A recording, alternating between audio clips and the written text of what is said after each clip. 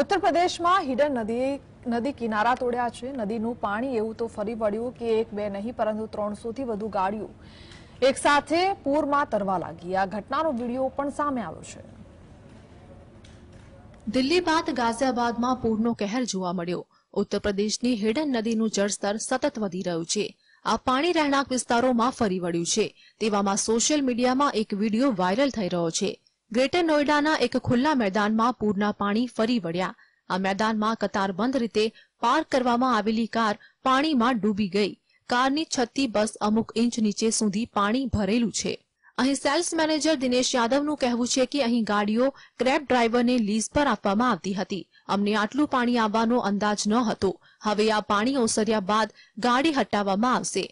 લોકડાઉનના પગલે ચાલકોએ આ ગાડીઓ કંપનીને પરત આપી દીધી હતી. સામાન્ય રીતે વરસાદના સમયે રસ્તાઓ પર ભરાયેલા પાણીના કારણે વાહનો બંધ પડવાની અને તેને નુકસાન થવાની સમસ્યાઓનો સામનો વાહન ચાલકો અવારનવાર કરતા હોય છે. આ વિડીયોમાં જે રીતે પૂરમાં ગાડીઓ ડૂબી છે, આ ગાડીઓને થનારા નુકસાનનો અંદાજ લગાવી શકાય છે. Bureau report GS